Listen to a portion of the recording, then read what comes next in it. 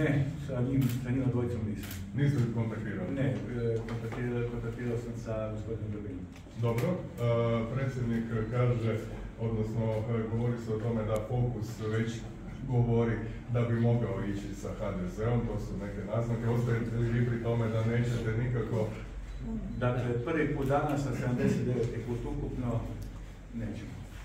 Dakle, ne mislite da je možda bolje slagati vladu desno prema Drugi put danas, a lijepa okrugla brojka 80 put ukupno. Da, ali tako ste isto najavili ostavku, pa sada izbjegavate. Povukli. Treći put danas, moj mandat je na raspolaganju. Ali to nije isto, vi ste, ja sam vas citirao, kako bi rekao? Ja vam ponavljam, vi pitate, ja odgovaram. Ne odgovarate, izbjegavate. Preuzete odgovornost koju ste sami, mislim, najavili. Dakle, treći put danas, moj mandat je na raspolaganju, predsjedništvo će donijeti svoju odluku.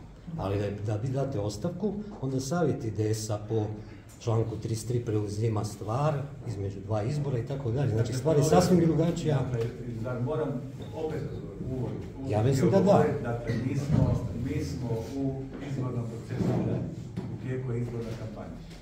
Dakle, to nije bezazlena situacija za svaku stranku, tako da moj mandat na raspolaganju, predsjedništvo će izanalizirati izbore i donijeti Ali dobro, to se čini dosta ovako škužam, a taj evropski budući da je vama ipak ključno Istra